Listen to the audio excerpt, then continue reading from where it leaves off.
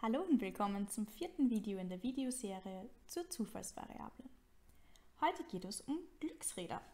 Du solltest bereits wissen, was eine Zufallsvariable ist und wie du einen Erwartungswert berechnen kannst. Wir schauen uns heute zwei mögliche Beispiele für Glücksräder an. Im Kästchen mit dem Titel Glücksrad heißt es, in einem Casino gibt es beim dargestellten Glücksrad drei mögliche Ergebnisse. Die Wahrscheinlichkeiten für die drei Elementarereignisse sind Rot, Blau und Grün. Und die sollst du jetzt bestimmen. Pausiere dazu das Video, notiere deine Überlegungen und vergleiche mit mir anschließend. Die Wahrscheinlichkeit für Rot beträgt 4 Achtel oder quasi einen halben Kreis 50 Prozent. Für Blau, wenn du die Punkte abzählst, siehst du, es sind 3 Achtel und für Grün ein Achtel. Abhängig vom Ergebnis zahlt das Casino den rechts angegebenen Betrag aus. Die Zufallsvariable x gibt die Auszahlung abhängig vom gedrehten Ergebnis an. Die möglichen Werte der Zufallsvariable sind für x1 1 Euro, für x2 2 Euro und für x3 10 Euro. Einfach in der Grafik ablesen. Die erwartete Auszahlung pro Drehung beträgt einmal 50 Prozent, also ein halbes, plus 2 mal die 3 Achtel plus 10 mal 1 Achtel. Das heißt, wenn man sich das ausrechnet, kommen wir auf 2,5 Euro. Da den Erwartungswert können wir im Sachzusammenhang folgendermaßen interpretieren.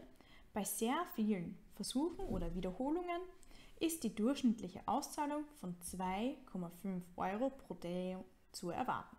Das heißt, wie gesagt, nicht, dass jedes Mal genau dieser Wert rauskommt, sondern durchschnittlich bei genügend großen Wiederholungen ist dieser Wert zu erwarten. Im zweiten Beispiel geht es um Roulette. Beim Roulette gibt es 37 nummerierte Felder mit den Zahlen von 0 bis 36. Davon sind 18 Felder rot, 18 Felder schwarz und nicht vergessen, ein Feld ist grün, die 0. Das Casino bietet folgendes Spiel an. Man setzt einen Einsatz auf Rot oder auf Schwarz. Wenn die Kugel mit einem Feld der getippten Farbe landet, erhält man das Doppelte des Einsatzes zurück. Andernfalls verliert man den Einsatz. Armin setzt 37 Euro auf Rot. Die Zufallsvariable x gibt seinen Gewinn nach Abzug des Einsatzes an. Erstens trage die möglichen Werte von x und ihre Wahrscheinlichkeiten in die Tabelle ein. Pausiere dazu bitte kurz dieses Video Notiere deine Überlegungen und vergleiche mit mir anschließend. Gut, ich habe in der Zwischenzeit unsere Tabelle ergänzt. Das heißt, 37 Euro, das ist die Chance, die wir, also unser Gewinn. Und die Wahrscheinlichkeit, dass wir gewinnen, sind eben 18 günstige Felder, auf der unsere Kugel landen kann, von 37 möglichen Feldern.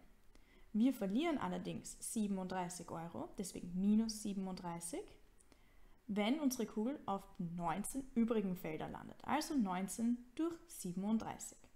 Unser Erwartungswert ist entsprechend 37 mal unsere günstigen Wahrscheinlichkeit plus unser Verlust mal die 19 37.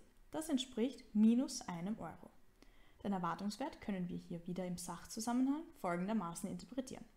Wenn Armin sehr oft 37 Euro auf Rot setzt, dann hat er damit einen durchschnittlichen Verlust von einem Euro pro Spiel zu erwarten.